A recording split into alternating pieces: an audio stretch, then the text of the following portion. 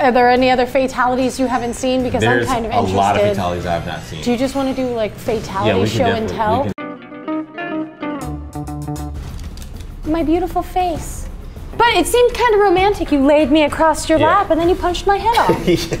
It's so satisfying though to see your enemy completely like ripped apart and being victorious. he uh, wants to touch his boobies. Uh, oh my uh. god! This game is rated M for mature.